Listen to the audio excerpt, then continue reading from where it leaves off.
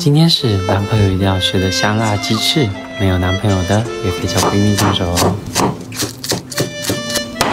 你知道吗？世界上有四种辣：微辣、中辣、特辣，还有我想你啦。这不是快中秋了吗？收到了一个多利惊喜礼盒，里面有我常用的多利小榨浓香菜籽油，还有一瓶川渝盐香小榨菜籽油。这个油特别适合做辣的菜。